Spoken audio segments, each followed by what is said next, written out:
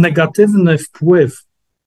że tak powiem, odcięcia Rosji od nowoczesnych rozwiązań technologicznych, no to się nie przełoży na, na, na sytuację gospodarczą Rosji w ciągu roku, dwóch czy trzech lat. Skutki tego odcięcia E, one będą odczuwalne dla gospodarki rosyjskiej w dłuższej perspektywie, ponieważ to oznacza, że gospodarka rosyjska nie rozwija się, nie, nie unowocześnia się, pozostaje no, na jakimś takim bardziej